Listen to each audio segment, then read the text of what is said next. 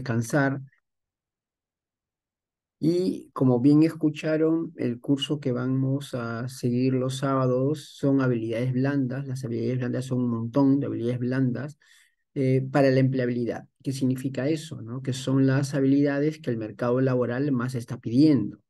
No solamente cuando contratan a una persona, muchas empresas se fijan en los estudios o en la experiencia que uno tiene laboral, sino dicen, ya, pero tú qué más puedes darme a mí como empresa? O sea, ¿cuál es tu plus?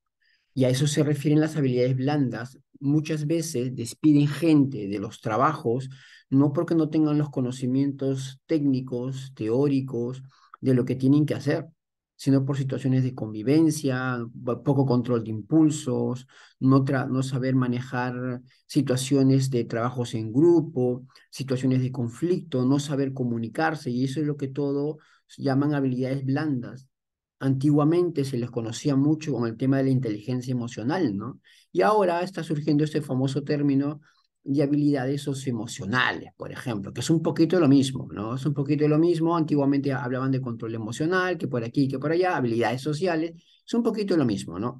Simplemente que de vez en cuando los psicólogos cambiamos nombres ciertas cosas para poder cobrar un poquito más caros y estar más actualizados, ¿no? Entonces, la, historia va, va un poco por ahí, pero suele ser lo mismo. Entiendo que la mayoría de ustedes son docentes. ¿Hay alguien que no sea docente? En el grupo, lo, digo un poco para saber ah, los ejemplos hacia dónde los inclino, por ejemplo. Sus, no, ¿qué profesión tiene Sus? Silvia tampoco es docente. Poligrafista. Eh, particular tu, tu carrera. Bien, entonces, pero la mayoría, eh, Silvia, ¿es eh, docente o, no es docente? Lo digo un poco para luego saber qué, ejemplos ponerlas a ustedes, ¿no?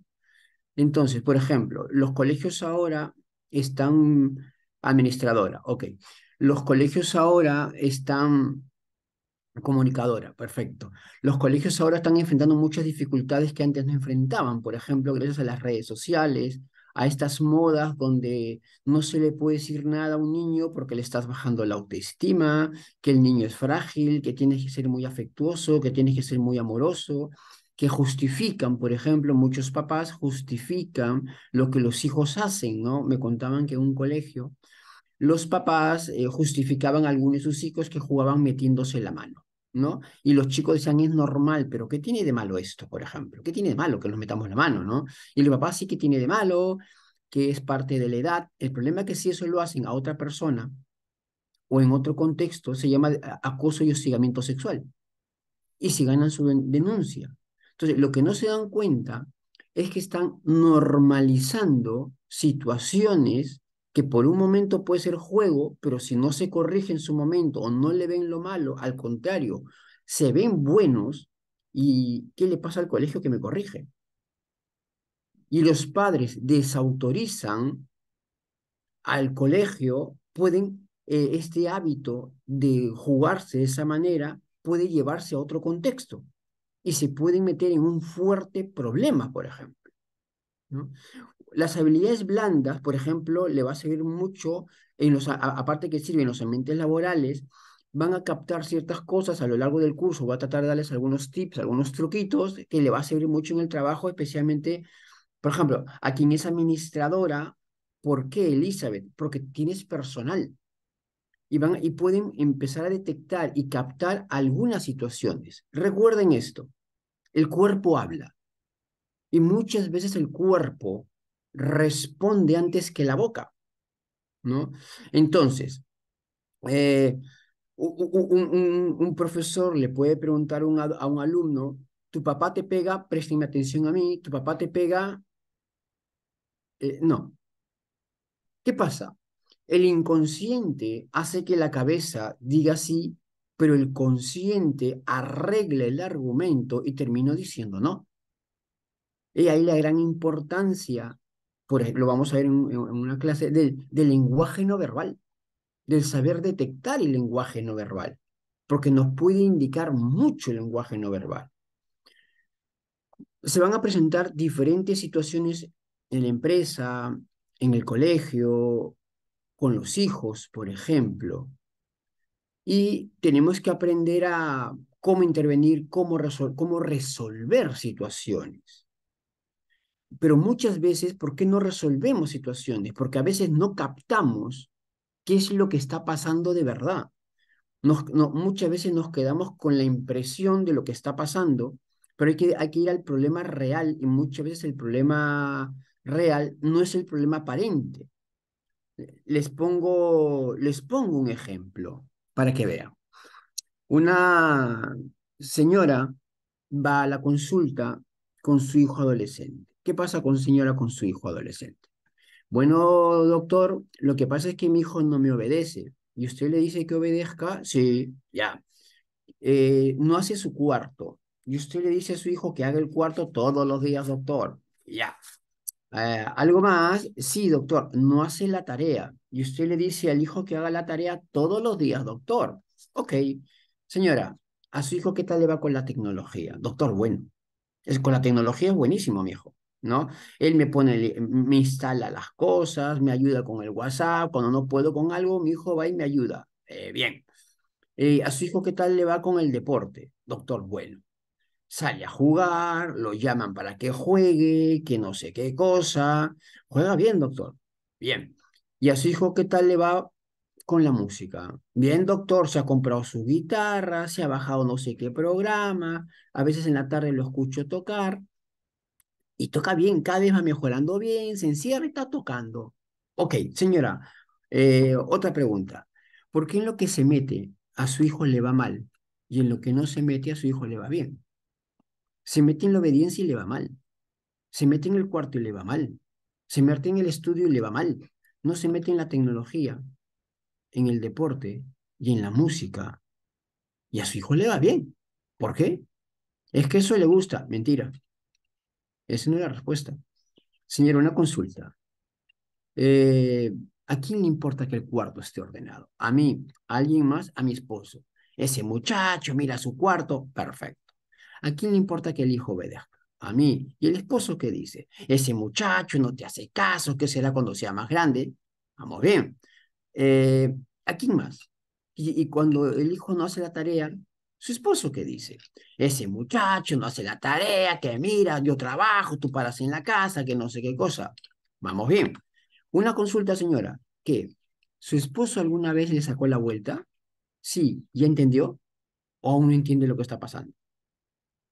Madre, el hombre que más amo, llamado papá, te sacó la vuelta a ti, que eres la mujer que más amo, llamada mamá, madre, tranquila, yo te vengo. Papito, ¿qué te gusta? El cuarto, toma. La nota, toma. La obediencia, toma. El alcohol, toma. El horario, toma. Tranquila, madre. Yo le doy. El señora está frente a un hijo herido. Ese hijo es rebelde. La está vengando. Porque su esposo osó tocarla. Muchas veces no nos damos cuenta de esas cosas que suceden. Por ejemplo, por eso es que a veces me dicen de qué manera le hablo, qué cosa digo, ya no sé qué decir, qué no sé qué cosa. Y muchas veces el problema real está en el fondo y no nos damos cuenta y, nos vamos, nos lanzamos sobre la conducta evidente, sobre la conducta que más nos incomoda, no se han dado cuenta que muchas veces cuando los papás plantean un problema, ellos plantean el problema que a ellos les afecta, mas no plantean, es raro, que planteen el problema que el hijo tiene. A mí no me obedece, a mí no me come, a mí no me duerme. Es lo que a ellos les afecta. Al papá le afecta que el cuarto esté desordenado pero no se preguntan qué está pasando con mi hijo, que no ordena el cuarto. ¿Qué está pasando emocionalmente con mi hijo que está mal? No, no se lo plantean. ¿no? Incluso yo he tenido chicos que dicen que quieren matarse y la mamá me dice, doctor, mire lo que mi hijo dice.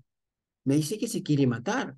¿No se da cuenta que me hace daño? ¿Puede hablar con él para que no me lo diga? Señora, su hijo se quiere matar. Doctor, pero me, me pone mal Mi hijo me tortura, doctor. Una mamá normal, ¿qué cosa diría? Hijo, ¿te quieres matar? ¿Qué te pasa? ¿Qué tienes? ¿Por qué te quieres matar? Vamos, buscamos ayuda. Pero esta mamá, obviamente que tiene otro perfil psicológico, me tortura, no me lo digas. Y eso escucha el hijo. Mamá, te estoy diciendo que me quiero matar. Y tú lo primero que dices es, no me tortures. Pensé que me quería salvar la vida. Eso al hijo lo impacta. Eso al hijo lo impresiona, por ejemplo. Y por eso a veces se dan cierto tipo de rebeldía. Entonces es interesante estar atentos a la realidad, porque la realidad habla. Pero hay que estar atentos. Y muchas veces, y se lo recomiendo a todos, incluso a, quien, a los que están en, en otras carreras, apunten mucho a la conducta. Si quieren equivocarse en estos temas, en estos temas, no se vayan a la interpretación. Muchos se van de frente a la interpretación. Vemos algo y lo primero que decimos no es qué hizo. Lo primero que decimos seguramente tiene baja autoestima. Seguramente es dependiente emocional. Que seguramente lo han criado no sé qué cosa. Y se van a la explicación, se van a la causa. Y lo que están haciendo es un concurso impresionante de adivinación. Están adivinando. No, e, eso los psicólogos no hacemos, es un error. Yo lo veo en mis estudiantes, ¿no? Yo lo veo en mis estudiantes. Yo enseño en tres universidades. En dos universidades enseño en pregrado y en una universidad enseño en posgrado a psicólogos, ¿no? Y, bueno, los entiendo a los primeros ciclos porque vienen con todas las cosas sin haberse sido pulidos por la carrera de psicología, pero se van a la interpretación. Seguramente es lo que pasa con los celos que la chica se, eh, la chica se aleja para contestar el teléfono y el, el celoso lo primero que hace es interpretar de forma negativa. Seguramente me está ocultando algo, seguramente está hablando con un hombre y que no sé qué cosa, y, se va por la interpretación y luego está con todos los conflictos por, habidos y por haber. Claro, lo curioso es que todas las interpretaciones son de ataque hacia él. Todas las interpretaciones son que la mujer es infiel porque es medio paranoide. Y no es que la mujer lo vuelve paranoide. Este chiquito es medio paranoide, por eso es posesivo, controlador, dominante y celoso. Por ejemplo, uno cuando está atento a la realidad, por ejemplo, a las cosas que suceden, sin anteponer las explicaciones primero, atento, no digo que no hay que buscar las causas, no he dicho eso, es que muchos se lanzan a la interpretación rápido y ahí viene el prejuicio se equivocan en el método, en el método, que seguramente es hiperactivo. A ver, primero observa lo que hay. Es como los médicos, primero ven los signos y los síntomas, no se van de frente al diagnóstico. Es un error, un, er, un error en el análisis. Entonces, docentes, ustedes que tienen dificultades muchas veces con alumnos y hay colegios que están pero de, de, vuelta y media porque están chapando cosas en redes sociales, en colegios grandes ya está pasando, donde los alumnos eh, se ponen de acuerdo para tener sexo en el colegio. ¿En qué parte del colegio tenemos sexo? Donde hay colegios que, y papás que se van enterando que hacen fiestas los chicos de secundaria y en las fiestas que son en casa en la fiesta, en la casa de uno de los chicos, los chicos tienen sexo. Y, no, y la parte curiosa es que cuando van al cuarto a escondidas a tener sexo o al baño a tener sexo, la parte curiosa no es que van dos al baño, van tres. Los dos que tienen sexo y el que filma. Yo en un colegio le decía, oye, a ver chicos, pero, ejemplo, los están filmando y una chica me decía, ¿cuál es el problema que me filmen? Cuarto de secundaria. ¿Cuál es el problema que es mi amigo el que está filmando? Oye, te están filmando. No entré al tema de que haces teniendo sexo. Con, con, tu amigo porque ni siquiera son los enamorados. Porque luego tienes sexo con uno y al rato tienen con el otro. Donde están las pescas de moda, por ejemplo. Te están filmando, le decía. ¿Y qué tiene de malo que me filme? Es mi amigo. O, o, los chicos están en grupo en la fiesta y una chica en el grupo delante de todos se pone a hacerle sexo oral a su compañero. Y todos en grupo, por ejemplo, ahí observando lo cual significa que hay problemas con los límites, hay problemas con la moral, hay problemas con el pudor, hay problemas con el control de impulsos y seguramente hay problemas con el alcohol. Y no es un tema de moralismo.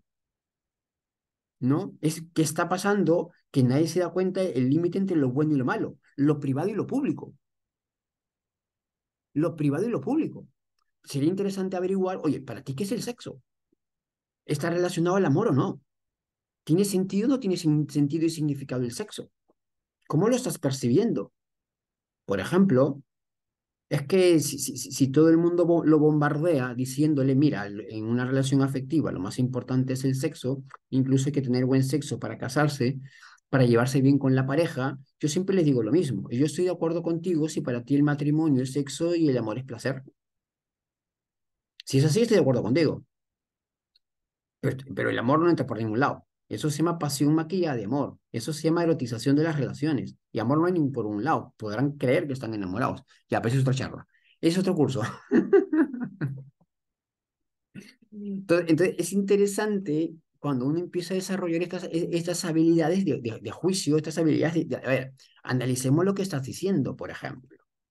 Entonces, profesores, eh, el mundo de ahora está bombardeando mucho a los chicos en redes sociales, influencer, streamer, de cómo se, hasta de cómo manejar problemas. Me preguntaban ayer, estaba en un colegio, que, que si con el ayahuasca se puede hacer estas cosas, si, si el, ayahuasca es terapéutico y que si la marihuana y que si no sé qué cosa, y que muchos quieren imitar a, sus, a sus artistas favoritos y no se les ocurre mejor, mejor idea, por ejemplo, experimentar lo que el artista hacía, porque el artista publica todo, por ejemplo. Y, se meten con antidepresivos, con ansiolíticos, porque quieren vivir lo que vive el artista. Y no saben medir, oye, lo que estás haciendo te está haciendo daño. Entonces, son cosas que es interesante hablar con los alumnos. Y otro detalle, antes de ya de empezar con la empatía, ¿no? Este, muchas empresas grandes, muchas empresas grandes ya no solamente ustedes que son docentes y que van a preparar a sus alumnos para que encuentren trabajo a través de las habilidades blandas, no solamente los conocimientos, muchas empresas grandes ya no solamente revisan currículos, hackean. Hackean a los postulantes, ¿no? Entran los, entran los postulantes, pasan todo un proceso de selección como normalmente suele dar, y luego llaman al hacker. Hackealos. Métete a todas sus redes sociales para conocer verdaderamente a quién están contratando. ¿Qué página sigue? Pornografía, violencia, pedofilia. ¿Qué sigue? ¿Qué mensajea? ¿Qué mensajea? Oye, devuélveme a mi ex, te has llevado mis obras, a la pelea, escándalos, borracheras, hackean. Los tiempos cambiaron. Entonces, si los adolescentes especialmente son, no son, no son advertidos en estos, no tienen límites, pueden tener fuertes problemas de por qué nadie me contrata. Claro, tus redes sociales, pues. Entonces, cuando yo hablo esto con los adolescentes, muchos se sorprenden y, lo dicen, ¿no? Si ahorita revisan mis redes sociales, nadie me contrataría. Le hackean los packs, le hackean, le hackean, porque ustedes saben, se puede hackear hasta el WhatsApp porque todo lo que nosotros mandamos por WhatsApp lo podremos borrar del celular, pero no de la nube. Y lo pueden jalar, lo pueden pinchar. Entonces, hay muchas cosas que en este mundo moderno eh, están cambiando. Y a los adolescentes tenemos que decir, oye, te estás enfrentando a esto. Ya no solamente van a evaluarte en función de una de, currículum.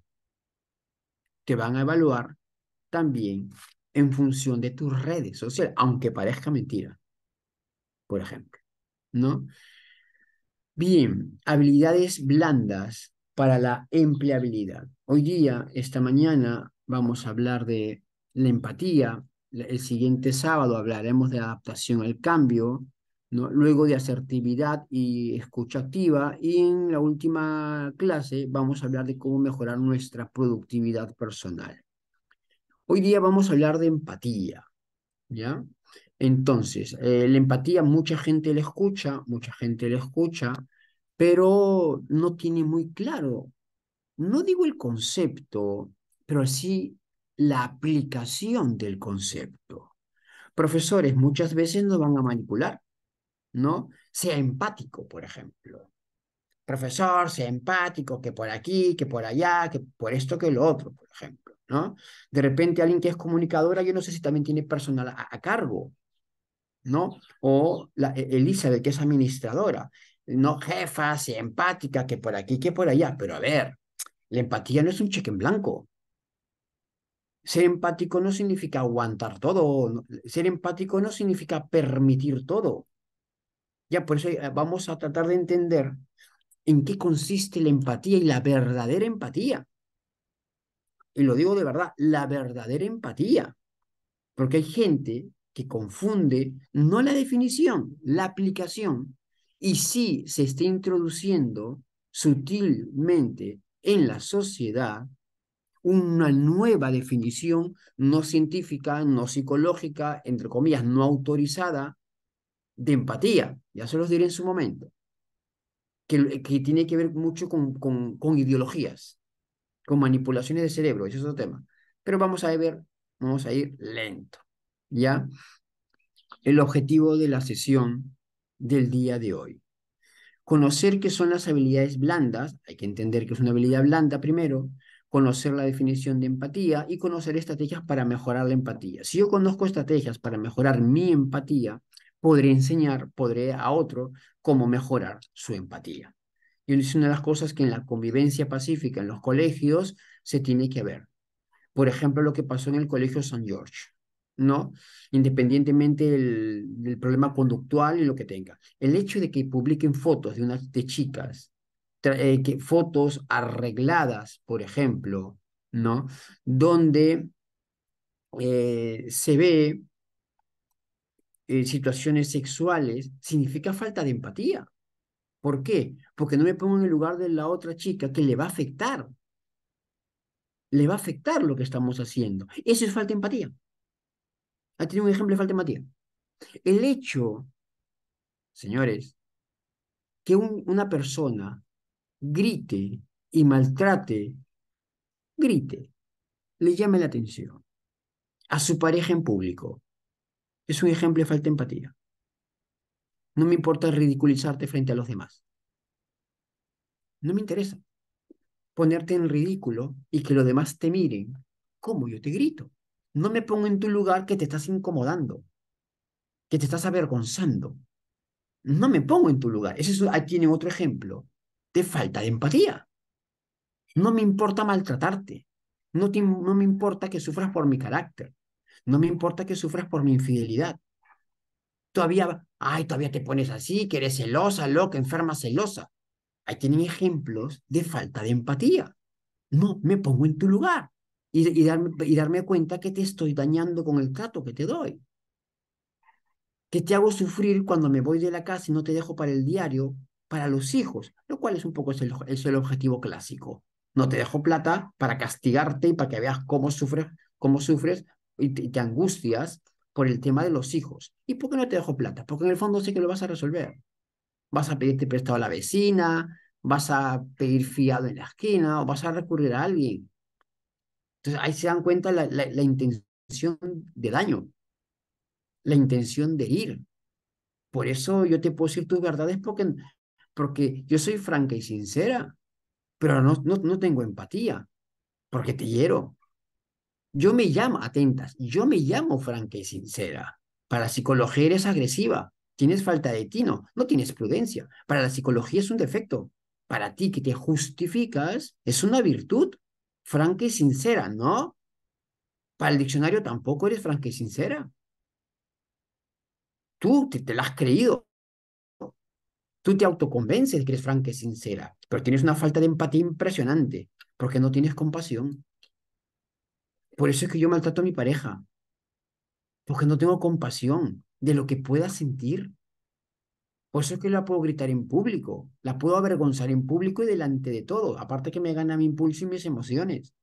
Porque no tengo empatía, no tengo compasión hacia ella.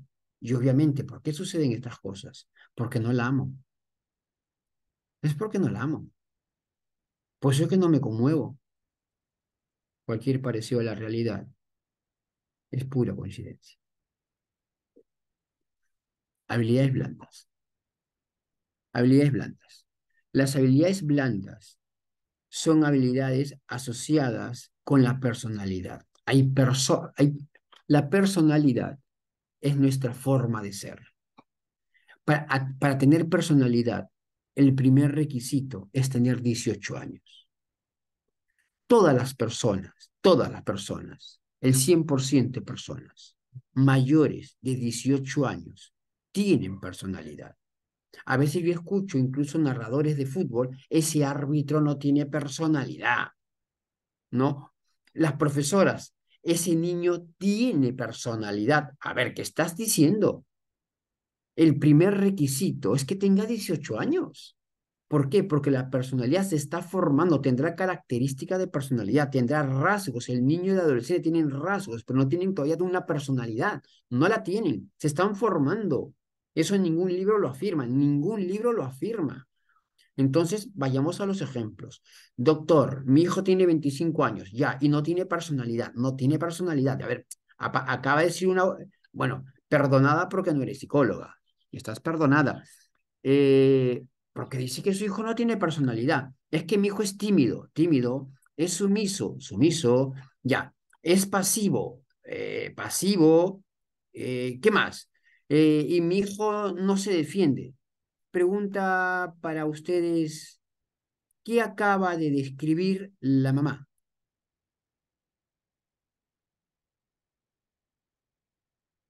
De su hijo.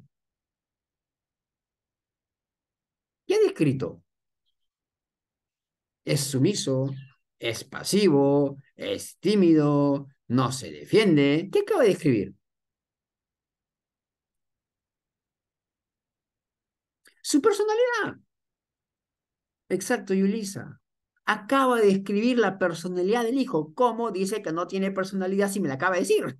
Lo que pasa es que a esas características de ser pasivo le llaman no tener personalidad, pero lo acaba de escribir. Y la prueba de que tiene personalidad es que si yo le tomo un test me va a botar un resultado. Por eso los test para decir el tipo de personalidad se aplican a partir de los 18. Por eso no existen trastornos de personalidad hasta, hasta después de los 18. No se diagnostican trastornos de personalidad hasta tener 18 años. Por eso, sí, hay gente que tiene trastorno de personalidad, está clarísimo y simplemente le falta la, edad. Porque los chicos se están formando, muchos niños son tímidos, inseguros, pero a medida que van madurando, van cogiendo la seguridad, por ejemplo. Esto es un fenómeno natural, porque están formándose. Entonces, hay características ¿no? de personalidad que podemos verla desde niños. De repente este señor es alegre a sus 50 años y toda su vida fue alegre. Es una característica en él muy fuerte. ¿Ya? Entonces, todos tienen personalidad desde los 18 años. Antes no. Yo he escuchado incluso profesores de inicial, este niño tiene personalidad, ¿no?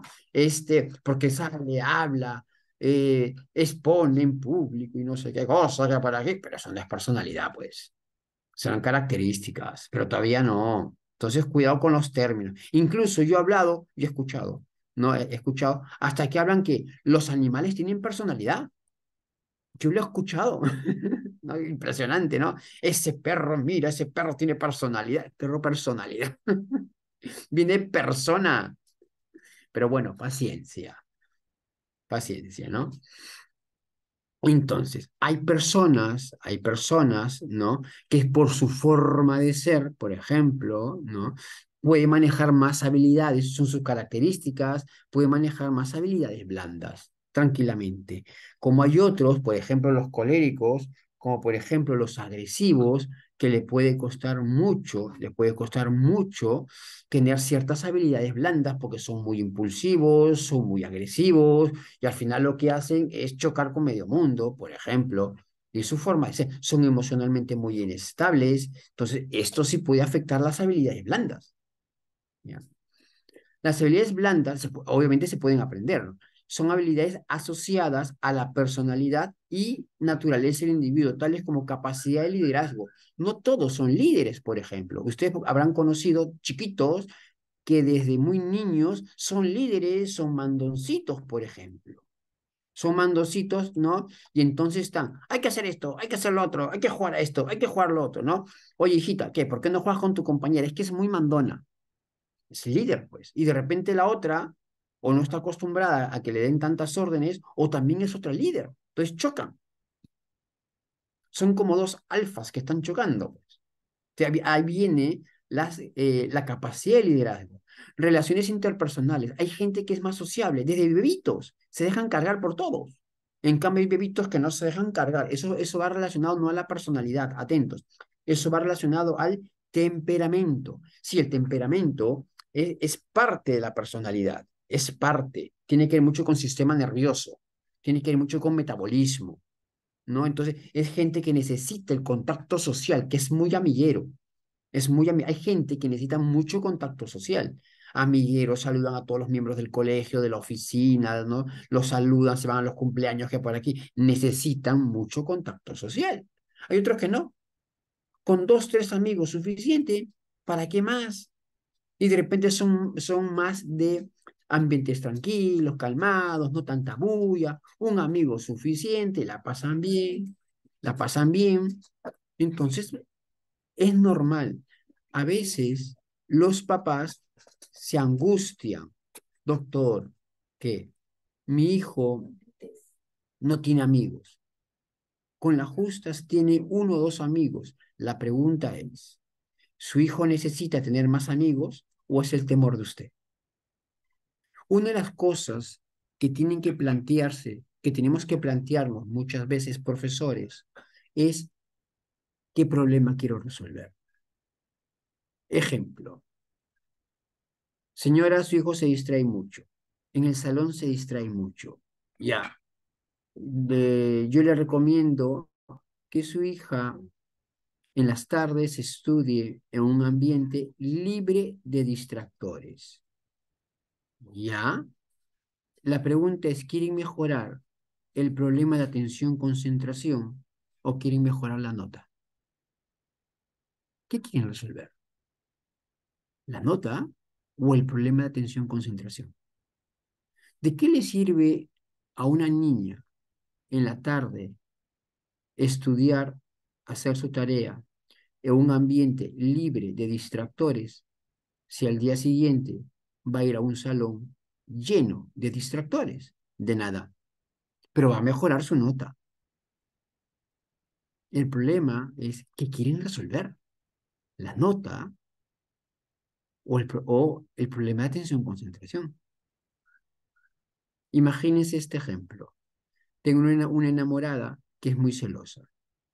Y yo en la oficina me tomo selfies y las subo a mis redes sociales, selfie con mis compañeras de trabajo. Nada más, ¿ah? Y mi enamorada empieza a reclamarme que por qué me tomo selfies, que le falta el respeto, que no sé qué cosa, que por aquí, que por allá. Por ejemplo. Mucha gente me puede aconsejar esto. Oye, si a tu enamorada este, no le gusta, no lo hagas. No crees problemas, no crees problemas, por ejemplo. No los crees hasta me puedes decir ser empático. es empático, mira, tu enamorada le está afectando, por lo tanto, deja de hacerlo. O sea, sé más inteligente. ¿No? Si esto le incomoda, no crees problemas. Una consulta. ¿Y cuándo ella cambia? ¿Cuándo ella mejora? ¿Cuándo aprende a confiar? ¿Cuándo aprende a controlar sus emociones? ¿Cuándo aprende a ser más estable? ¿Cuándo aprende a manejar sus suspicacias y sus sospechas? ¿Cuándo aprendí a madurar? Nunca. Muchas veces queremos sentirnos bien, pero que cambie el resto. Yo no muevo un dedo. El resto tiene que hacerme sentir bien, pero yo no voy a manejar mis habilidades blandas, yo no voy a controlarme, yo no voy a calmar. Que el resto lo haga. Por eso la pregunta es, ¿qué quieren resolver? Al resto, cambiar al resto o empezar a trabajar sobre mí. Ese es el problema. Es como, una, es como unos padres que crían a su hija para que no le pase nada y la cuidan, la protegen, Cualquier problema que tengas, aquí estoy yo. Y cada vez que tengo un problema, los papás aparecen, la cuidan, le resuelven la vida. La chica la pasa genial, la chica la pasa fantástico, por ejemplo. Porque obviamente, obviamente, los papitos van y la protegen y siempre le resuelven todos los problemas. Eh, profesora, mi hija no llegó tarde, yo, me, yo, demoré en, traerla. Profesora, no es que mi hija no haya hecho la tarea, es que yo no tuve tiempo de enseñarle. la hija está aprendiendo que todos los problemas son culpa de los padres, no de ella. Está aprendiendo a no ser responsable. ¿Cuál es el problema? Le están diciendo a su hija algo, cuando tengas un problema, nosotros lo resolvemos. Pregunta, ¿cuándo ella va a desarrollar habilidades, capacidades, actitudes para ella misma resolver sus problemas de la vida? Nunca.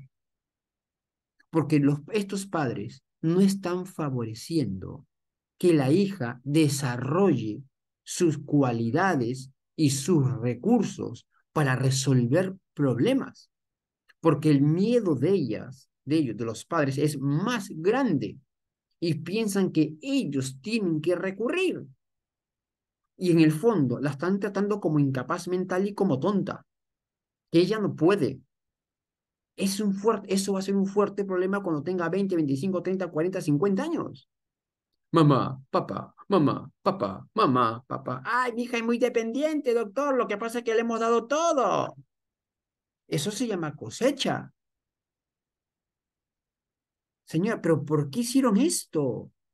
que tenían miedo de que le pase algo, de que llore, ¿qué pasó?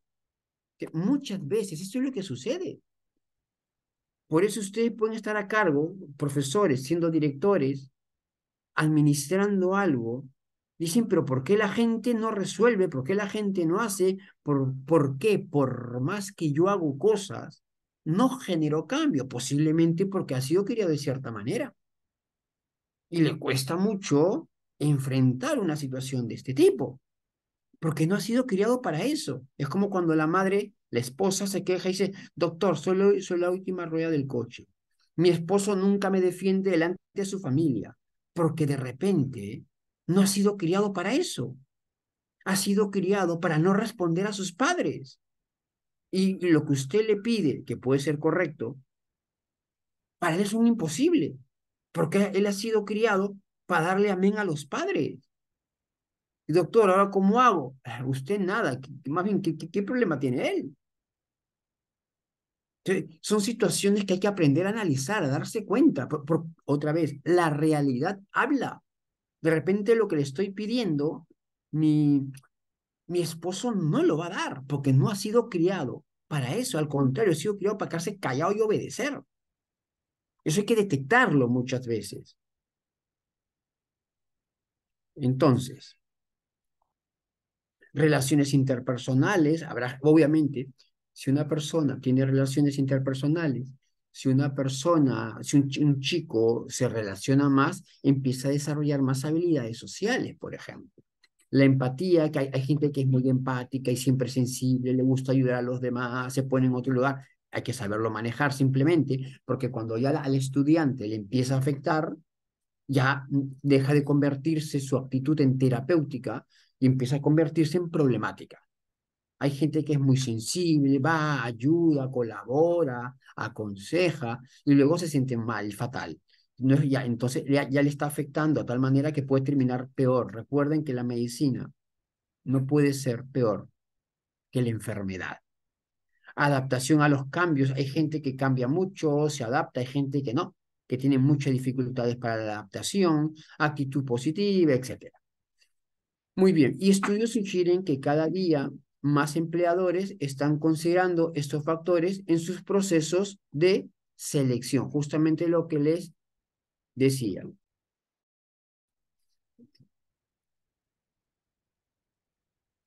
Entonces, la definición de habilidades blandas.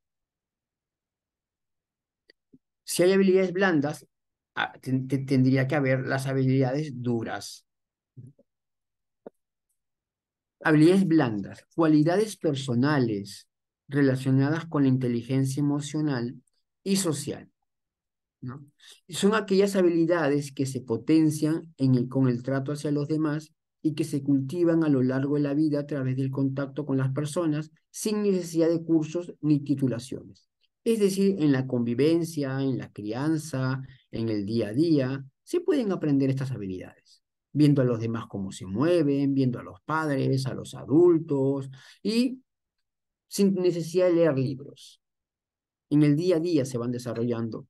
Las habilidades duras son habilidades y competencias que se adquieren a través de conocimientos académicos. Es lo que han aprendido en la universidad, por ejemplo, o en el instituto. Y a la experiencia profesional los conocimientos teóricos. Esa es la habilidad dura, ¿no? Lo que tiene que ver con nuestro currículum, esa es la habilidad dura. Es lo que se conoce vulgarmente como inteligencia y para la que se entienden habilidades como la memoria, la lógica o los idiomas. Ya esa es la habilidad dura, entonces ya tenemos la habilidad blanda. La habilidad blanda son un montón de habilidades blandas que hay. La lista es muy grande, ¿ah? pero acá hemos seleccionado algunas que son un poco las que, las que el mercado más más solicita, ¿no? Y en, en, una oficina, en una empresa donde eh, se trabaja con gente, una de las primeras cosas que nos van a pedir, oye, tienes que ser empático, ¿no? les pongo más ejemplos de falta de empatía. Oye, ¿cómo no te puede gustar esto? Ay, pero ¿qué, qué tienes? Es que la empatía justamente consiste en eso, ¿no? Ay, llorando por este problema, habiendo, habiendo problemas más importantes, eso es falta de empatía. Hija, por un, por un hombre no se llora. Se llora por cosas más importantes. Ese es ejemplo de falta de empatía. No es empático a la hija. Ahí está el ejemplo. Por un hombre lloras. Por, amiga, por un hombre no se llora. Y es falta de empatía. Oye, la estoy pasando fatal, ponte en mis zapatos. La estoy pasando y, me dices que no llore. ¿Qué hago? Me río. ¿No? Beneficios de fortalecer las habilidades blandas uno es más eficiente. Comprendo mejor la situación, por ejemplo, ¿no? me adapto a los cambios, sé trabajar en equipo, tomo decisiones, por ejemplo, me comunico de tal manera que no choco con los demás, no genero conflictos, entiendo mejor la comunicación porque practico la escucha activa, mi tiempo es más productivo, soy más eficiente en el trabajo. Por lo tanto, optimización del tiempo. No, no tengo tantos, tantas cosas acumuladas a final del día, avanzo lo que tengo que avanzar y el, la, el tiempo es mejor aprovechado. Si uno es empático, de verdad, si uno tiene comunicación asertiva, es respetuoso, no es agresivo, la, la atmósfera es positiva, no es pesado ir al trabajo, ay no, otra vez lunes, por fin viernes. Entonces, ¿qué significa eso, no? Cuando alguien dice, ay no, mañana es lunes y por fin viernes o sábado, fin de semana, ¿qué significa? Que la vida empieza el sábado y termina el domingo. Significa que el trabajo no tiene sentido. Eso lo explica la logoterapia. El trabajo no tiene sentido. Simplemente voy porque hay que trabajar o ganar plata. Y eso es feo. Que el trabajo no tenga sentido. Y si yo todos los días digo, ay no, mañana el lunes hay que ir a trabajar, mis hijos están aprendiendo que, ay, el lunes es el peor día de todos, ay no, papá, mañana el lunes este, hay que ir al colegio, claro, están repitiendo el mensaje, doctor, el día lunes a mis hijos les cuesta, me, cuesta mucho levantarlos del colegio, levantarlos de la cama para que vayan del colegio, claro, si están escuchando a cada rato, oh no, qué feo, mañana es lunes. Por eso Chesterton es un escritor inglés, decía que el lunes es el día de los valientes. Bajo nivel de estrés. A ver, es interesante esto de los, del estrés, por ejemplo, ¿no? Que estaría para una clase más, ¿ah? Pero vamos a ver. Profesores, un alumno sale jalado en un examen, puede sentirse frustrado, súper frustrado, decepcionado, entonces, las intensidades de las emociones pueden ser muy variadas. Pero este alumno empieza de colegio, de secundaria, es, el ejemplo, empieza a angustiarse y preocuparse y se superestresa que por la nota y que quiere subir la nota y no sé qué cosa. La pregunta es por qué. Es que yo quiero tener buenas notas y siempre he sido primeros puestos. ¿Por qué? porque quiero ingresar a una universidad. ¿Para qué? Para ser profesional. Bueno, está bien, pero ¿por qué te estresas tanto? ¿Por qué te estresas tanto, por ejemplo? Porque en la universidad hay que tener buenas notas. ¿Para qué? Para ser buen profesional. ¿Y de qué te va a servir ser buen profesional en la universidad? ¿De qué te sirve tener buenas notas en la universidad? Es que voy a conseguir trabajo. Y todos pueden conseguir trabajo. Es que quiero ganar bien. ¿Para qué quieres ganar bien? Para comprarle una casa a mis papás. ¿Y para qué quieres comprar una casa a tus padres? Para que se sientan orgullosos de mí, que ahora no lo están. Es este problema.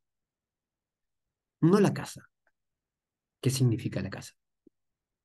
La casa significa que por fin estarán orgullosos de mí. O sea, tú tienes 16 y me estás hablando que tus papás se van a sentir orgullosos de acá 20 años. Que ahorita no se sienten orgullosos de ti. Eso es duro. Eso es duro. Por eso, por eso, a él le estresa sobremanera el bajo rendimiento, porque cree que no podrá comprar la casa y que por lo tanto sus padres no tendrán, no se sentirán orgullosos de él. Eso lo angustia. Por son las preguntas que le hacía. ¿Qué significa la casa? No es la casa, no es el materialismo. Entonces, yo puedo hacer las cosas porque son correctas y no me estresaré tanto. O puedo hacer las cosas porque me gusta hacer las cosas bien, porque lo que inicia se termina, porque no hay que ser mediocre. ¿Pero qué significa eso? ¿Qué significa el error? ¿Que eres tonto? Que, te van, que no te van a querer. Por eso es que esta actitud, esta mentalidad es más estresante. Por eso. Y es una motivación negativa. ¿Por qué? Porque yo estoy motivado a ser perfecto, bueno y primer puesto, porque de repente quiero ser primer puesto y punto. Y no me angustia si pierdo. Pero si quiero ser primer puesto, porque si no soy tonto, es que soy perfeccionista, es que mis padres me van a castigar, es que mis padres se me vienen encima, es que no soy... Claro, es más estresante, porque apenas empieza a fallar las alarmas empiezan a, a encenderse. Por eso, para ti, el trabajo, el sobretrabajo es muy estresante, porque tu motivación es negativa, no positiva. No eres bueno en el trabajo. Es como un profesor. Un profesor puede motivarse a enseñar bien sus clases porque quiere que el alumno aprenda, pero un profesor puede motivarse a hacer bien sus clases para que los papás no le reclamen. Obviamente uno estará angustiado pensando que en cualquier momento los papás le mandan el tiro de la crítica. Obviamente su motivación es más negativa, más estresado y más no sé qué cosa, que por aquí, que me preocupa, que por acá, que los dolores de espalda, que la gastritis, que por ahí, claro porque tu motivación es negativa. Una cosa es que yo estoy motivado para ganar algo. Otra cosa es que yo me motive para evitar algo, que me voten, que me despidan, que me critiquen, que me castiguen, que me descuenten, que los papás me reclamen, que los alumnos vean que soy tonto. Entonces yo puedo hacer clases perfectas y excelentes, pero tengo miedo que los alumnos se den cuenta que soy un tonto. Por eso es que, por eso es que tengo problemas de autoestima. Por eso es que muchas veces, por más que me felicitan, no me la creo. No me la creo. Entonces, miren cómo uno puede ver lo aparente, que es buen profesional, pero no sabemos si detrás de él, o sea, ¿qué hay? ¿Qué hay? ¿Qué motivación hay? Y esas motivaciones psicológicas muchas veces vienen desde la infancia por los mensajes que nos han puesto. Por eso es que puede, uno puede tener mucho o poco nivel de estrés haciendo lo mismo. Claro, si una persona es nerviosa, evidentemente, se estresará con más facilidad. Esa es otra historia. Esa es otra historia. Que luego, en vez de decir, oye, yo soy una persona muy estresante, lo primero que diga es, el re ah, escuchen, escuchen. Yo voy a insistir mucho, ¿ah? Aprendan a escuchar, el resto me estresa, está justificando su estrés, está culpando al resto y buscará que el resto no lo estrese. ¿Y cuándo aprenderás a manejar tu estrés? ¿Cuándo? Es que ahora hay situaciones que son estresantes, pero escuchen la queja. O sea, ¿cómo llega la queja? ¿En qué orden llega la queja? Es que, señora, usted le pega mucho a su hijo. Es que, profesor, es que él no me hace caso. Es que él no hace la tarea. Está diciendo, yo le voy a seguir pegando hasta que, hasta que él no se porte como yo quiero. Cuando él sea el hijo que yo quiero, el hijo que yo imagino, el hijo que yo, que, que yo deseo, recién le voy a dejar de pegar. Pero todos los mensajes que nos está dando es, yo no voy a cambiar. Ellos me provocan.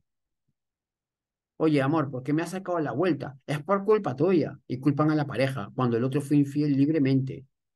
Nadie lo obligó, nadie le puso una, una pistola para ser infiel.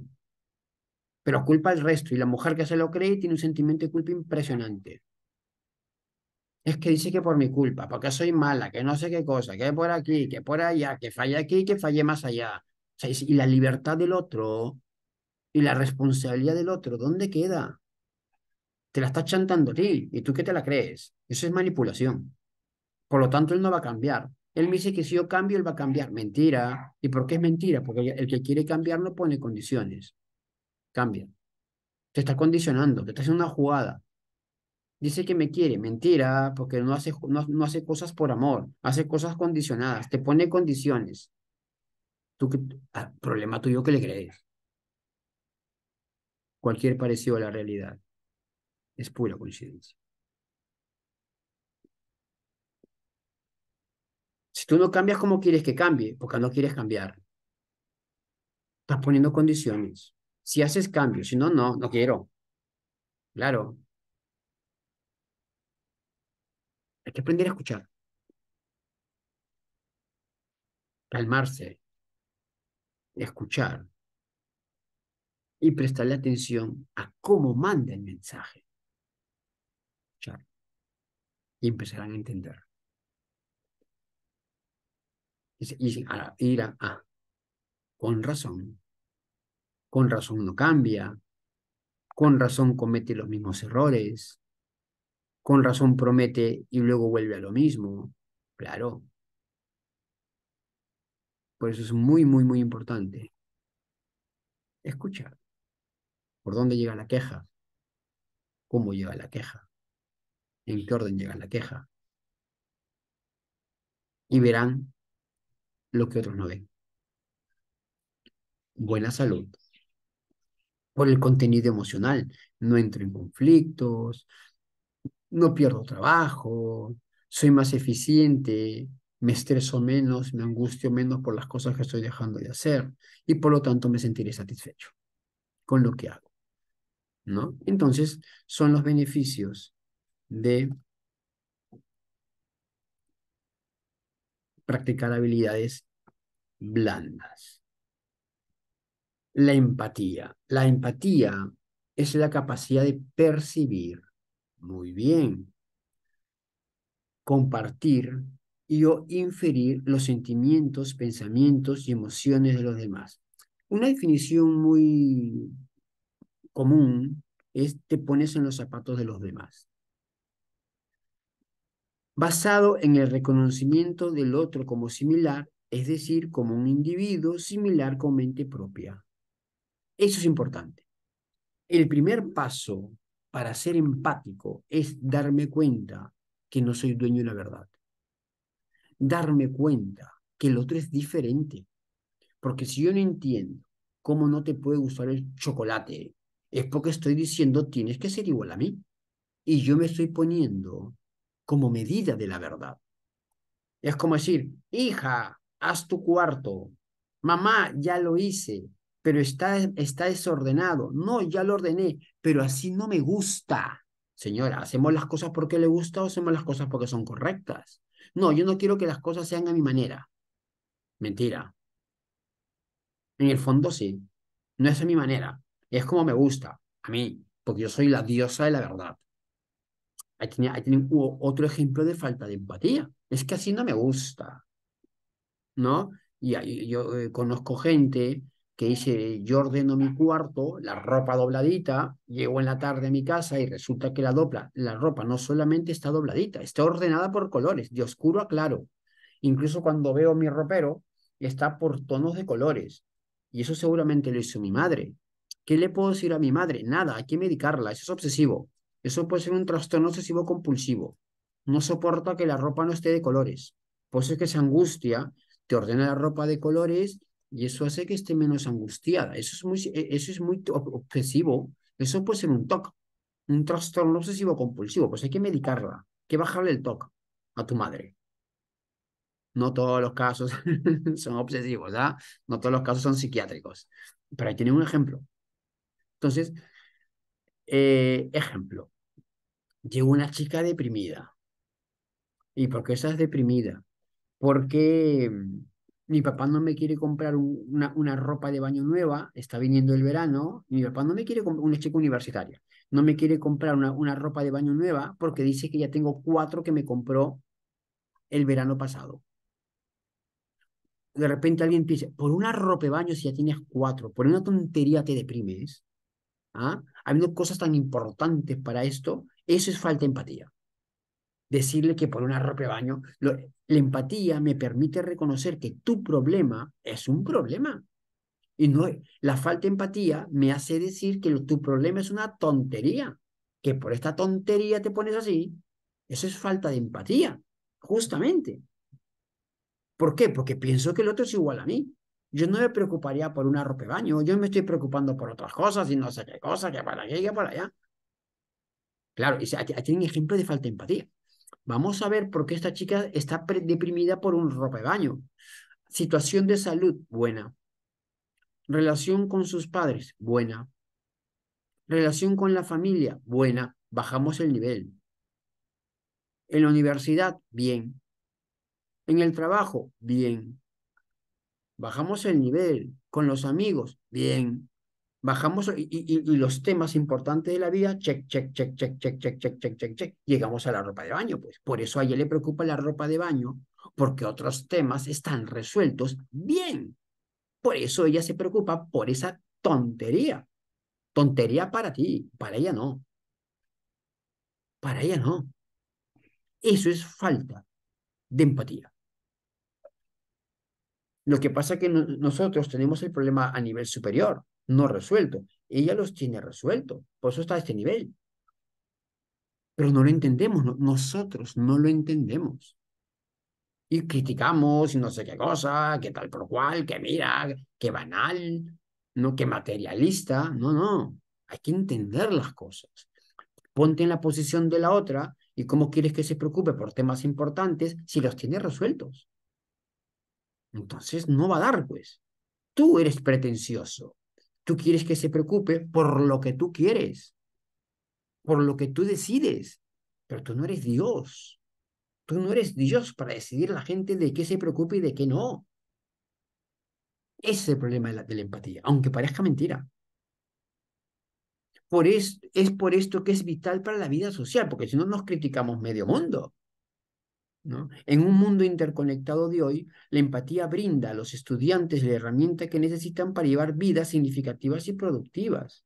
Si no empiezan a criticarse medio mundo, a bajonearse, las habilidades para la vida necesarias para que cada persona desarrolle plenamente sus capacidades no solo se aprenden en la familia o la comunidad, sino también en la escuela porque la escuela es un, es un lugar donde los estudiantes pasan muchas horas al día y ustedes lo saben, los docentes muchas veces eh, cogen los alumnos más confianza a los docentes que a los padres y terminan contándole cosas a los profesores que los padres ni enterados.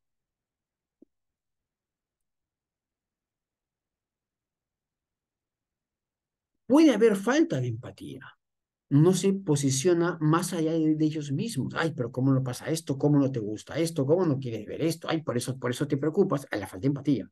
Ni se preguntan cómo se pueden sentir los demás ante sus acciones o comentarios. Ay, yo soy franco y sincero. ¿No? Yo voy y lo digo. ¿ah? Carecen de esa comprensión llamada empatía. No pueden establecer relaciones de igualdad con otra persona. Pero qué tonto, pero qué bruto, ¿cómo no sabe? Hay que por aquí. Entonces, esto genera conflicto lo hacen desde la superioridad o desde la inferioridad. Entonces, generalmente, el problema lo tenemos nosotros. Entonces llega una chica y dice, este, mi compañera es una creída, es sobrada. ¿Por qué? Porque no me saluda. ¿Y cuál es el problema? Es que es una sobrada. ¿Y a ti qué te importa? Si es problema de ella. Si es sobrada, es problema de ella. ¿A ti por qué te afecta? No me está afectando. Si te, estás te está afectando porque te estás quejando, estás delante mío. Porque te está afectando que sea sobrada. Si ella es sobrada, es problema de ella. ¿A ti qué te interesa? Es que está mal que sea sobrada. ¿Y a ti por qué te afecta? ¿Por qué te duele que sea sobrada? ¿Por qué te duele que sea sobrada? Es que es una sobrada. ¿Por qué es sobrada? Porque no me saluda. ¿Y tú por qué necesitas que ella te salude? No lo necesito. Sí, te estás quejando. Te estás quejando porque no te saluda. Y eso es porque necesitas que te salude. Y si ella no te salude, te afecta. Te afecta mucho. ¿Por qué necesitas que te salude? Alternativa uno. O tienes un complejo de inferioridad tan grande que cuando alguien no te saluda, piensas que te desprecia y te humilla. Pero ese problema es tuyo, no de ella. Dos, o tienes un complejo de superioridad tan grande que te crees diosa, que todo el mundo tiene que darte pleitesía. Eso es muy narciso. ¿Qué problema tienes tú? Deja de quejarte del resto. ¿Qué problema tienes tú que te afecta? Profesores, y le acertaron. Le acertaron. Mientras más te quejes de ella, más me hablas de ti. ¿Por qué un papá le hiere que el hijo se pase la línea cuando escribe colorea. No te pases la línea, que tan débil es. Que un milímetro lo hiere, ¿eh? ¿Qué problema tiene? ¿Qué problema tiene? El hijo colorea, chiquitito colorea, y deja espacios en blanco. ¡Colorea bien! Acá hay espacios en blanco. ¿Qué problema tienes? Que te angustia el espacio en blanco. ¿Qué conflicto tienes? ¿Por qué te angustia que tu hijo no se tire al piso cuando rompen la piñata? ¿Qué problema tienes? ¿Por qué lo comparas?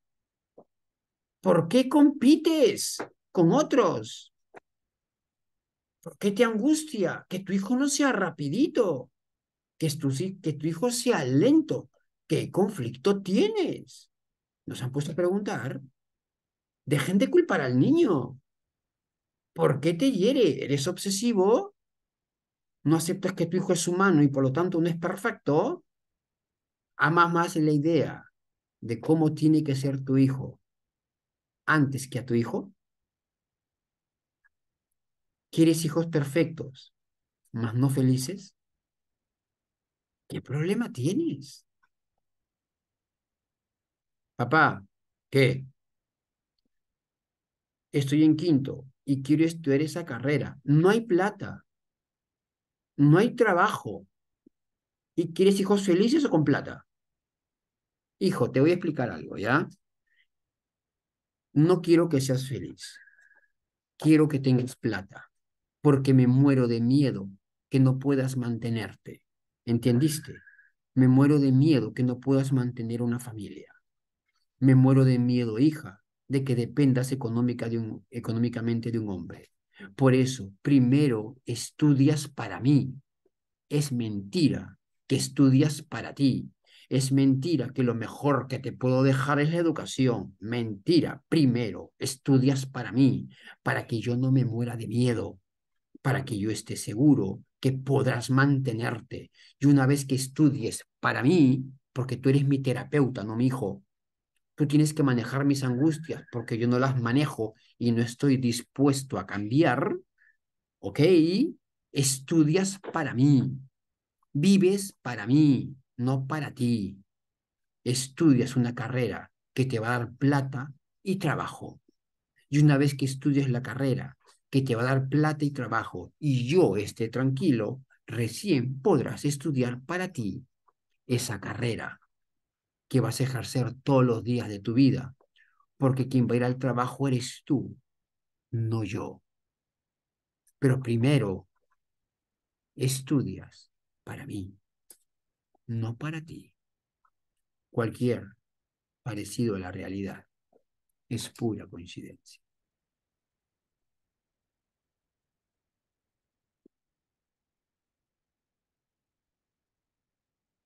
La verdadera empatía es me pongo en tu lugar atentas. Me pongo en tu lugar y comprendo. Esa es la verdadera empatía. ¿Ya? La falsa empatía es me pongo en tu lugar, comprendo, pero tienes que hacer lo que yo haría en tu lugar. Esa es la falsa empatía.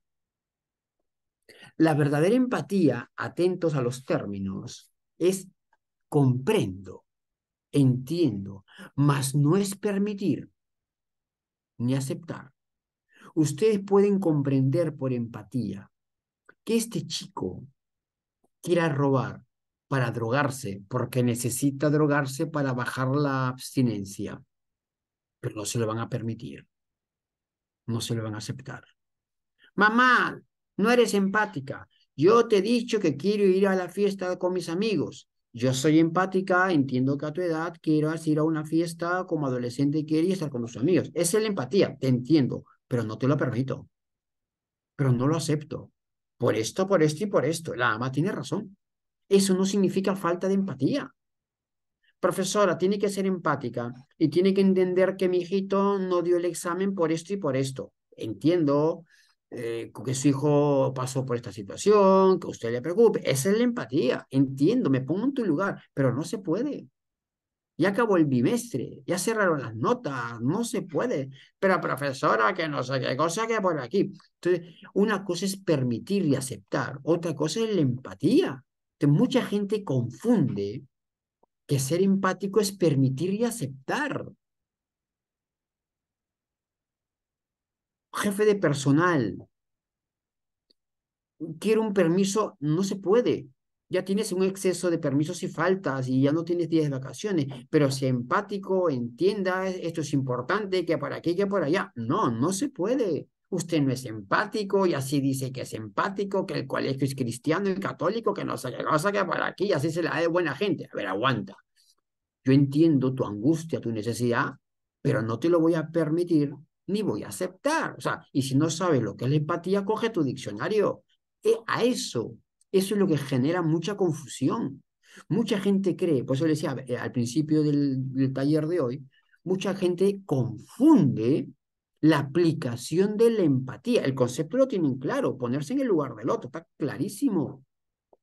Pero a la hora de aplicar, nos cogen y nos quieren manipular. Entonces, empatía no es aceptar o permitir. La, falsa empatía, ¿cuál es? Yo me pongo en tu lugar, pero tienes que hacer lo que yo haría. Esa es la falsa empatía. Al final no hay empatía. ¿Y cuál es la empatía que por lo bajo nos están metiendo? Sin que nos demos cuenta. Trátalo como él no se trataría. Trátalo, no, trátalo como él se trataría y no lo trates como él no se trataría. Esa es la, nueva empatía que nos quieren meter por lo bajo de manera ideológica manipulativa. Ejemplo, oye, si yo a una persona le recomiendo que baje de peso, porque todo el mundo dice, todos los médicos lo dicen, y la Organización Mundial de la Salud dice, oye, baja de peso porque tendrás problemas de esto, de esto, de esto y de esto, gordofobia. Trátalo como él se trataría, déjalo comer, no lo trates como él no se trataría. Él quiere seguir comiendo y no quiere bajar de peso. Déjalo. Pero a ver, ahora nos llaman gordofobia. Oye, te voy a recomendar que te vistas de otra manera porque, hija, corres mucho riesgo. Machista. Misógino. Déjame vestirme así. A ver. O sea, nos están manipulando, nos están arrinconando de que no podemos decir muchas cosas, muchas cosas, por ejemplo, ¿no? Porque automáticamente, escuchen, automáticamente no argumentan, insultan. Y eso es manipulativo. Es manipulativo. Y tenemos que captar ciertas cosas. Señores, una persona puede llegar a una conclusión válida, pero el razonamiento puede ser erróneo. Y eso tenemos que detectárselo ustedes que trabajan con, con, padres de familia, ustedes que trabajan con alumnos, y los que trabajan en, comunicación, computación y administración, trabajan con gente, no, no sé si atienden públicos, de repente clientes, puede haber un argumento válido pero argumentación errónea. Ejemplo, en una de las tres universidades donde yo trabajo, aparte trabajo en un centro de salud mental, ¿no? Y cuando tengo tiempo doy talleres como estos, ¿no? Para que mi esposa dice, no te aburras, anda, trabaja. Entonces, este, un alumno comete una falta y no se le sanciona. En una de las tres universidades donde yo trabajo, yo soy coordinador de carrera. Comete una segunda falta y se le sanciona. Y su argumento es, si no me sancionaron la primera vez, ¿por qué me sancionan la segunda vez? ¿El argumento cuál es? O sea, porque no te sancionamos la primera, significa que estás impune, que puedes hacer lo que te da la gana y no podemos decirte nada solamente porque no te sancionamos la primera vez. Eso es lo que me estás diciendo, ese es tu razonamiento. Eh, tenemos que tumbar su razonamiento, no a la persona. Respuesta, ¿por qué me castigan ahora si la anterior vez no me castigaron? Porque yo te castigo cuando quiere, cuando yo quiero, no cuando tú quieres. Las instituciones ponen las normas, no tú. Y eso es el mundo real. Las instituciones tienen sus normas. No es que las normas del colegio lo pone el papá o lo ponen los alumnos, si no perdemos autoridad, perdemos terreno, perdemos poder y nos van a manipular de lo lindo. Entonces, el argumento puede ser válido, no, la, la conclusión, pero no el argumento. Le tumban el argumento. Es como que un ladrón, la primera vez no lo chaparon. Que a partir de allí, porque se salvó la primera vez, puede robar todo lo que quiera y nadie le puede decir nada, muchas veces tenemos que ayudar al otro a que entienda a través de otro ejemplo. Me he chocado con tanta gente intolerante en todos los ámbitos de mi vida que no sé qué creer, en lo objetivo y lo verdadero. ¿No? Entonces, puedes darte cuenta que el error está ahí, y hay, de todo, en el mundo hay de todo. A veces hay que saber lidiar con ellos, ¿no? Entonces, por eso hay que captar mucho lo que el otro me quiere decir, pero para eso hay que calmarse, hay que tranquilizarse. Estrategias para desarrollar la empatía. Influyen en el liderazgo, negociaciones y comunicación. Porque ustedes pueden ser líderes de su salón, padres de familia, comités, ¿no? Y pueden ser empáticos, se dan cuenta que entienden a todos, pero no ceden ante ciertas cosas y van a empezar a percibir los que son justos. A la hora de negociar con alguien, pueden decir, entiendo tu postura, entiendo esto, y el otro se puede sentir entendido y comprendido a nivel emocional, por ejemplo. Y eso es válido. La comunicación puede ser más efectiva. Hija, mira, entiendo esto, entiendo esto, pero no. Hija, entiendo que quieras tener un enamorado, que el chico está fantástico, que el chico es atractivo, pero a ver, hija, sabemos que este vecino que tenemos está metido en drogas, está con todas las vecinas, ¿no? Ha hecho un montón de cosas y es un chico que no te conviene para ti. De repente la chica no quiere entender esto y al final, mira, hija, al final lo, lo que está pasando es que tú no estás enamorada de él tú estás, este, fijada en la atención que te está dando porque te está agradando la atención que te da. ¿No?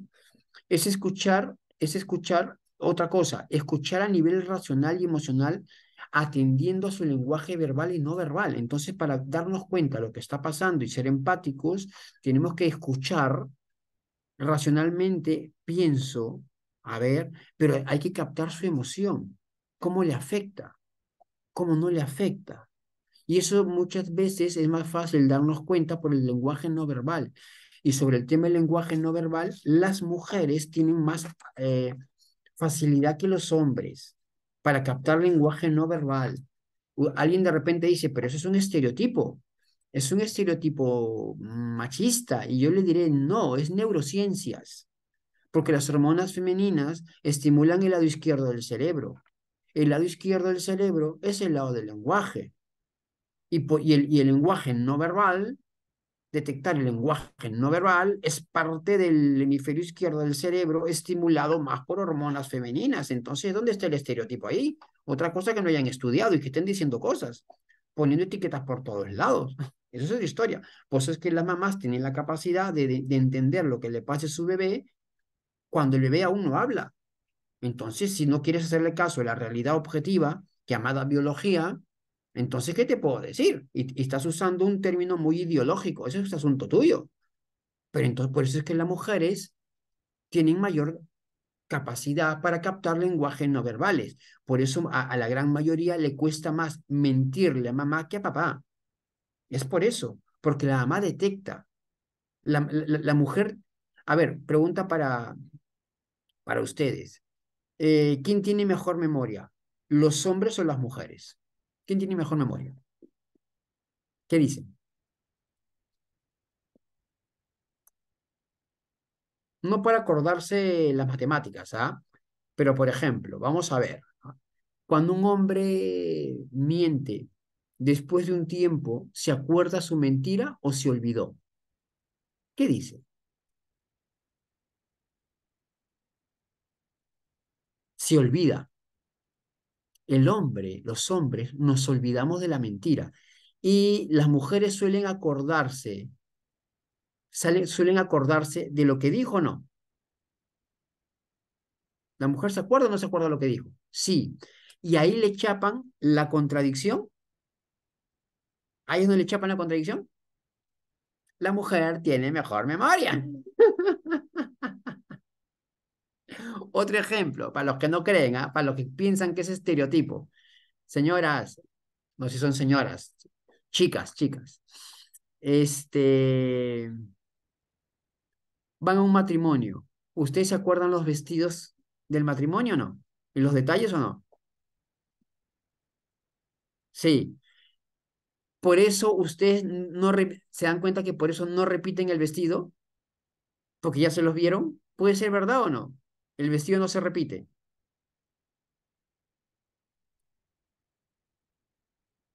Claro, por eso la famosa frase no tengo que ponerme. Este, sus, yo no repito. No seguido, pero sí. Una consulta, sus. ¿Tú has sido muy pegada a tu papá? ¿Has crecido con hombres, con hermanos, varones? Cuando era niña. Cuando era niña, no no, no, no, has sido pegado a, hombres. Tengo hermano. Pero eras muy pegado a él, creciste con él, o, eres muy pegada a tu papá. No tienes hermano. Ah, no, tengo, no tienes hermanos. Muy pegada a papá, tíos, abuelos. A mi papá.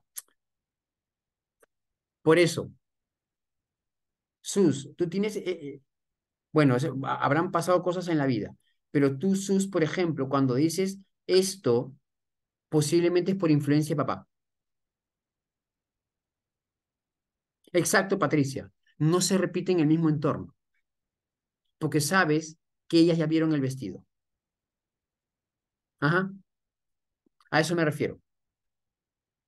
¿No? Entonces, hay cosas que por contacto, hay cosas que se pueden aprender. Entonces, no digo que es exclusivo del hombre o de la mujer. No es más, y dije, más facilidad, más facilidad para la mujer por biología. Los hombres podemos aprender. Entonces, hay cosas naturales por biología, pero por influencia en el contacto desde niña con, en este caso, sus, su papá, obviamente ha captado cosas de él y se le han quedado, por ejemplo. Esa es la explicación más ahorita, sí, muy superficial y muy rápida, ¿no? Entonces, esto se puede aprender, pues. Pues eso no es exclusivo, más facilidad. Y así, les puedo poner un montón de ejemplos, ¿ya? Entonces, es entender más que todo emociones y deseos. Miren, acá dice es entender, no dice es aceptar y permitir, no dice conceder. Entiendo tu deseo, Digo una tontería, a veces los ejemplos tontos se entienden mejor, ¿no? Entiendo que te guste mucho mi amiga y quieras estar con mi amiga y la quieras besar. Soy empática, pero no te lo permito. No lo acepto. Esa es la empatía.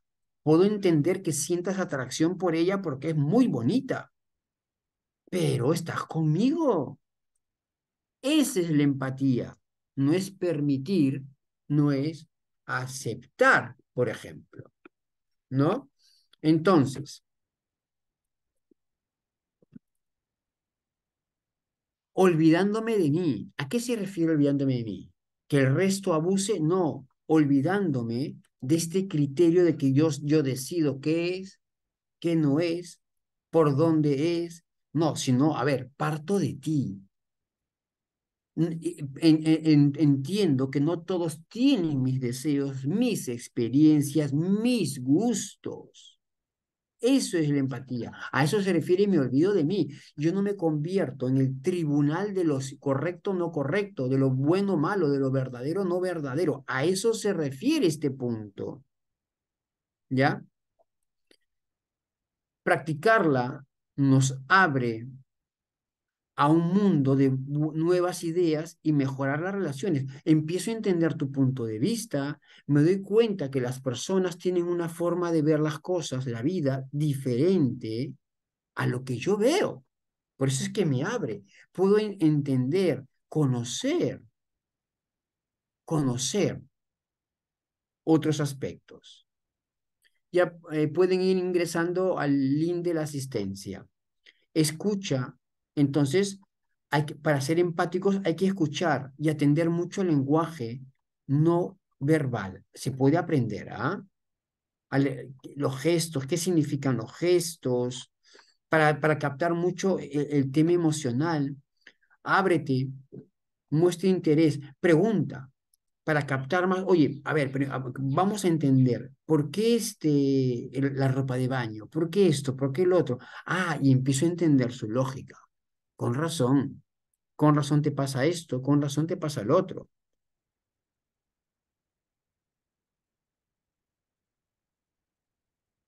A mí me pasa que si me importa, me acuerdo mucho el tema, claro, porque tienes memoria, pero sí no me olvido, eh, nunca te vas a olvidar. Para olvidarte tiene que darte amnesia. Y para que te dé amnesia o, o te da demencia o hay que darte un buen golpe. Eh, cuando uno ha tenido problemas en la vida, no hay que olvidarlos, hay que aceptarlos para superarlos, para hacer los procesos. No es olvidar. Alguien me dice, oye, ¿qué? Estoy sufriendo por mi ex y quiero olvidarlo. Eh, está complicada la cosa, ¿no? Eh, es que aún me acuerdo de mi ex y es porque lo quiero. no, si te acuerdas de tu ex, eso se llama memoria, no amor. Y si me voy de viaje, ¿tú crees que me olvide de él? No, porque si te vas de viaje te llevas tu cabeza y tu memoria, así que no te vas a olvidar de él. ¿Qué más?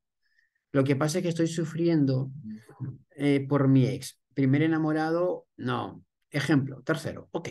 Háblame del primero. Bueno, se llamaba Juan, le gustaba esto, esto y lo otro. Perfecto. Háblame del segundo. Bueno, se llamaba Luis, y es, él era así, así, así, le gustaba esto y le amargaba al otro. Vamos bien. Ahora, eh, a ti actualmente solamente te afecta el haber terminado tu relación con tu tercer enamorado. Ejemplo, ¿sí? Sí. ¿Te das cuenta que no has tenido que olvidar al primero y al segundo para sentirte bien? Me has hablado de ellos. No te has olvidado. Pero aceptaste que la relación terminó aquí y la aceptación de lo negativo genera que puedas superar. Porque mientras más yo me aferro a la idea de un padre perfecto, mientras más me aferro a la idea de un padre, de un padre perfecto, más me chocará ver a mi padre real. Porque encontraré la distancia entre la imagen y lo real. Y me va a chocar. Entonces, muchas veces tenemos que humanizar a la gente y aceptar que no me trató como me hubiese gustado tratar, ser tratada, por ejemplo. Que hizo lo que yo no esperé, pero que no es perfecto. Y eso es lo que le pasa muchas veces a los padres. Es que no es rapidito, es que no obedece la primera, es que no obedece calladito, es que no es como yo me imagino que tiene que ser. Y por eso me choca. Por eso es que me choca mi hijo. Porque amo más la idea que me he hecho de él, de cómo debería ser, que, que, que, la idea de que la que quién es. Amo más la idea que a la persona. Amo más la idea del objeto que al objeto. Eso es lo que genera mucho conflicto. ¿Por qué creen que a muchas personas les va mal en, en pareja? Porque aman malas ideas. Es que tiene que ser así, es que tiene que ser atento, es que tiene que ser, eh, tiene que ser detallista, es que tiene que, tiene, tiene, tiene, tiene, tiene. Le ponemos una serie de parámetros y reglas que el otro no encaja. Muchas veces nos aferramos a quién tiene que ser, no a quién es. Y uno quiere ser amado por quién es, no por lo que tiene que ser. Entonces, mientras más nos aferramos a imágenes, que no son reales. es el problema. Es, es el problema es de realismo. No es, no es nada menos. Es falta de realismo. La empatía muchas veces tiene problemas por la falta de realismo. La realidad me dice que todos son diferentes. Esa es la realidad, pero a mucha gente le cuesta aceptar la realidad. Pero ¿cómo no te gusta esto? ¿Pero por qué lloras esto? Claro, yo le puedo decir a mi hija que no se llora por un hombre porque me angustia verla llorar, me angustia verla sufrir y no sé cómo ayudarla. Y me duele su llanto y no se me ocurre mejor idea que callarla. No llores. Por un hombre no se llora, quiero callarla, pero no le ayudo a resolver el conflicto. No la curo. No la curo, le estoy moviendo el orgullo para que deje de llorar, pero no resuelve el tema. Esto va a generar que el problema se mantenga en el tiempo. Porque al final, otra vez, ¿qué quiero resolver? No quiero resolver el conflicto de mi hija, quiero resolver mi angustia de que ella llore y que yo no sepa manejarlo. Eso es lo que yo quiero resolver. Mi angustia. Pero eso es egoísmo, sí. Estoy pensando en mí, sí. Y no en mi hija, exacto. ¿Ya entendiste? Es como el caso de que vas a estudiar cuando acabes quinto de secundaria. Exacto. Muchas veces queremos que el resto viva de una manera para nosotros estar bien. Eso es lo que muchos buscan. Pero no desarrollamos nuestras habilidades blandas y nuestros recursos para enfrentar y manejar situaciones. No lo hacemos. Queremos que el resto cambie, que el resto pida perdón, que el resto mejore, que el resto no llore, que el resto obedezca, que el resto no se amargue, o sea, que nos hagan la vida bien. Y eso es lo que mucha gente busca, que nos hagan la vida tranquila y nuestros recursos, nuestras habilidades. Por eso es que muchos no lo desarrollamos. Y eso es complicadísimo porque el resto va a cambiar cuando ellos quieran, no cuando yo quiera. Sigamos.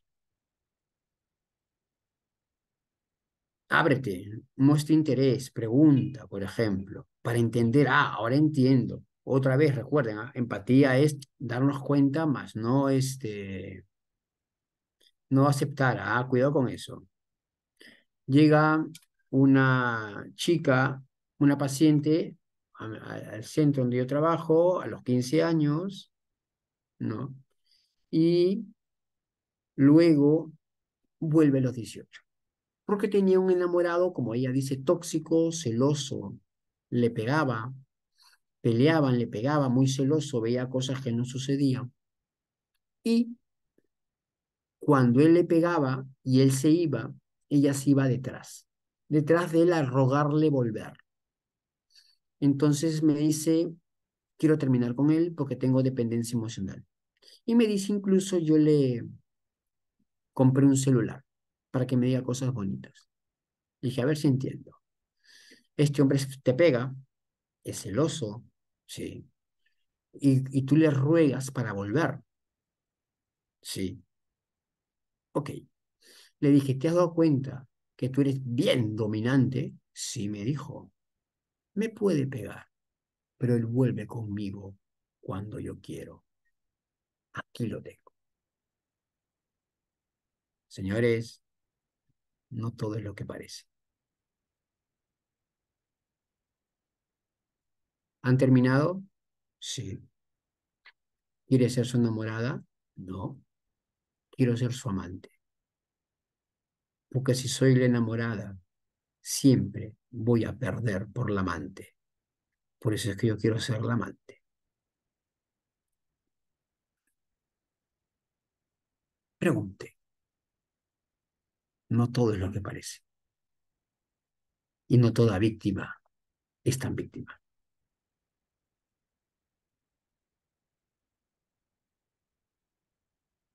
Ofrece tu afecto físico, caricias, tocar. No, hay gente que se rehuye un poco a esto, pero hay que dar afecto, por ejemplo, que romper un poco eso. Enfoca tu atención hacia el exterior, hacia el otro, no hacia ti. No lo que piensas, sino lo que ellos sienten. O sea, superemos esto, este, este, este egocentrismo, vayamos, pero te afecta, no te afecta, que por aquí, que por allá. ¿Cómo, cómo te ayudo? No en el esquema, ay, qué débil, qué frágil, qué sensible. No, sino, a ver. Evite el prejuicio, adelantarse. El prejuicio es un juicio antes de tiempo. Acá, es, interesante esto, es, evita el, juicio antes de tiempo, no el juicio en su momento. ¿No? Eh, de repente alguien puede decir, este, pero nadie debe juzgar, solamente juzga Dios y los jueces. Entonces yo le respondo con una pregunta.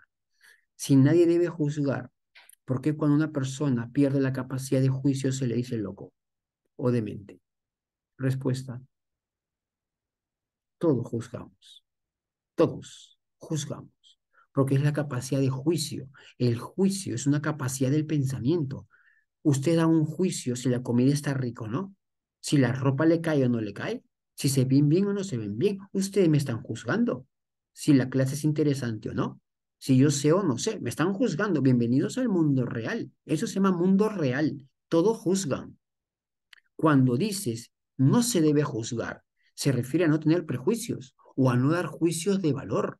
Pero ustedes, profesores, dan juicios. Este alumno sabe o no sabe. Este alumno va a aprender o, no está aprendiendo. Este alumno tiene dificultades. Parece que tiene un problema de CI. Parece que tiene un problema emocional. Todos los días damos juicios.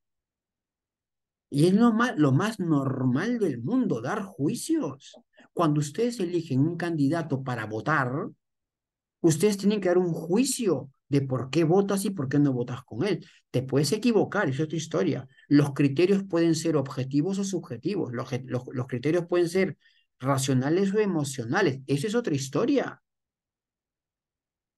Pero ustedes todos los días dan juicios. En función del clima, ustedes juzgan cómo se van a vestir y se dan cuenta si están bien o no bien vestidos para la situación. Bienvenidos al mundo real. Todos juzgan, todos. Por eso el diccionario dice que toda opinión se basa en un juicio. Evite el prejuicio es adelantarte. Pero qué tonta, pero qué banal, pero qué así, que. A eso se refiere no juzgues, no seas prejuiciosa. ¿Ya? Ofrece tu ayuda. a desarrollemos esta sensibilidad, por ejemplo. ¿No? Una alumna le dice al profesor que está triste porque terminó con su enamorado. Él le responde que por un hombre no se llora. Ahí tiene un ejemplo de falta de empatía. Alumna se siente triste, ya que su papá no le quiere comprar una ropa de baño nueva, la que le dije, ¿no? Ya que tiene cuatro que le compró hace un año. Entonces, la empatía me dirá, dirá, oye, pero ah, quiero entender qué significa para ti que no te compré una ropa de baño, por ejemplo. ¿no? Por ahí va. Muy bien, y para terminar, puntual, ¿qué vimos hoy? ¿Y dónde podemos aplicar lo aprendido? ¿Alguien puede responder?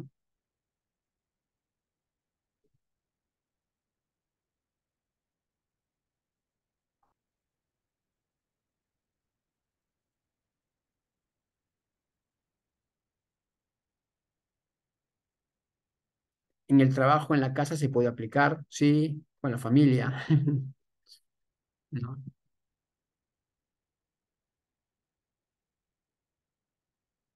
Bien.